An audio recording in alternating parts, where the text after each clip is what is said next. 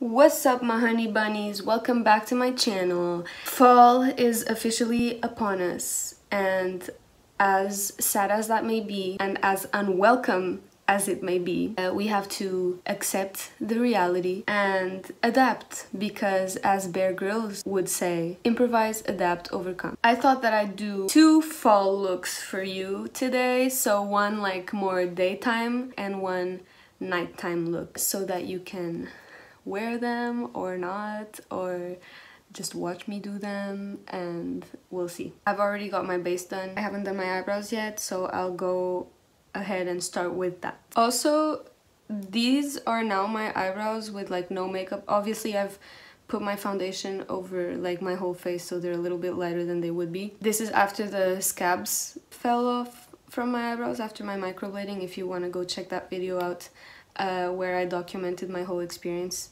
with micropigmentation, not microblading, sorry. But yeah, this is what it looks like now. I don't do them every day anymore, which is cool for me, but since I'm doing a makeup look for you guys, I gotta fix them up a little bit. First I'm going in with my Wet n Wild retractable brow pencil in medium brown and I'm filling in my eyebrows wherever I feel like there are areas that are a little bit more sparse than others so they're a little bit more uniform and then I'm buffing out that product with the spoolie at the other side of the pencil.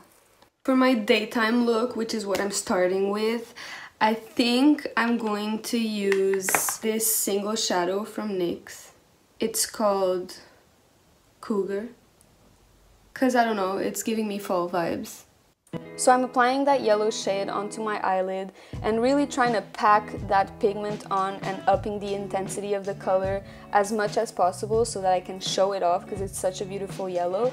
And even though I would totally wear the yellow on its own, I think it looks cute as hell, I decided to add some dark brown to the outer edges of the eye to deepen up, like create some shadow, some dimension, and also it would make it a little bit more elaborate. So I don't know, you can skip this step if you just want the yellow, but I did that and then to create some continuity, I took the same shade and I brought it down along the lower lash line. I'm even using the same brush that I used on the eyelid and I'm taking whatever excess product is on there and buffing it out on the lower lash line. Next I'm going in with e.l.f. Cosmetics uh, Metallic Liquid Eyeshadow in Liquid Gold and applying that to the inner portion of my lower lash line to catch the light, you know, make it look like I'm shining and cute and my eyes are big and whatever and glistening and cute. Because I am not doing falsies for this look, I am just going in with my favorite mascara at the moment, which is NYX's Worth the Hype. And if you know this mascara, you know that it's buildable, but I am really only doing one coat because I wanted to keep this eye look sort of light and if I added too much on the lashes and like the same reason I didn't wear falsies is because it would add too much darkness to it. For lips, I'm applying Milani's lip liner in 03 Nude and what I do because my top lip goes inwards at the corners uh, is that I'll overline really only at the corners to make up for whatever isn't there. Then I'm just filling in the rest of my lips with the lip liner to make it all the same color. And then topping it off with some Fenty Beauty Gloss Bomb. Here I'm applying some mascara to the bottom lashes with the same Worth the Hype mascara. How could I have forgotten to put on some highlighter when I did my base? I don't know. Is it the most important part of the face? Yes it is, but because I didn't do it, I'm doing it now. And I'm using e.l.f. Cosmetics Baked Highlighter in the shade Moonlight Pearls on my cheeks and nose. So this is it for look number one. As you can see, it was very simple to do. I only used three shades on the eyes and then basically liner and a gloss, aside from face makeup, of course. Um, but you guys, for those of you who have brown eyes and always envy people who have like light blue eyes or green or whatever and think that ours is boring, man, this shade makes brown eyes look like honey. I don't know what it is, but I found out I actually really like it. So it turns out I look good as a fall leaf and now you can too. If this is too much for a daytime look, you can always cut out the dark brown and just rock the yellow on its own. Now moving on to look number two.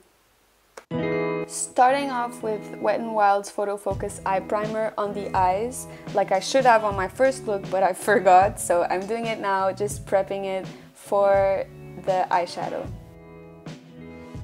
Now taking this burgundy shade from the NYX Ultimate Warm Rust palette, I'm just applying that, like packing it on the eyelid without worrying too much for like blending it, just because I want to build up the color first and then buff it out. For that I'm just doing soft circular motions along the edge of the color that I put down. And then as you can see, you just get this buffed out color that's really blended to perfection. Next, taking the dark brown shade from the same palette, I'm doing what I did on the first look and I'm just deepening up the outer edges of my eyes just to create some dimension.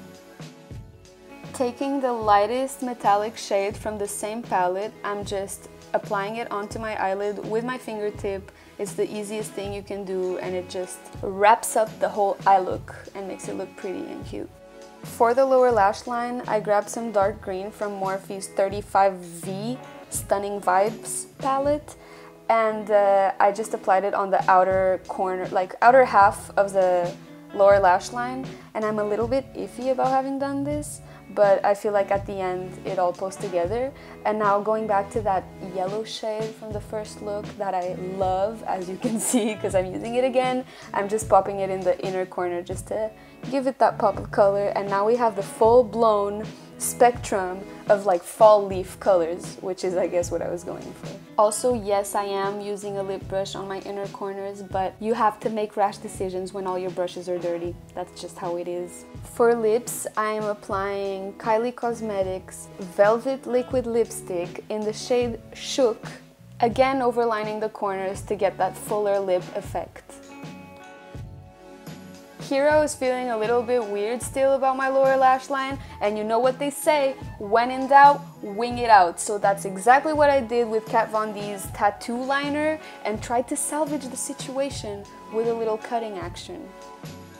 For lashes, I'm using Ardell's Demi Wispies and I'm just applying them with Revlon glue, I think, and letting them dry. And bitch, we are done with look number two and it seems like we were able to make up for me getting carried away with wanting to look like a fall leaf. But yeah, after putting on liner and lashes, the whole look came together to form what is definitely something I would wear on a night out, not during the day.